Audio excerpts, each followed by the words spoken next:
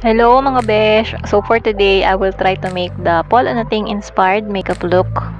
It feels like na parang wala akong karapatang gawin tong look na to dahil wala akong binatpat kay idol. But yeah, try lang naman. So first, I wash my face and let's start.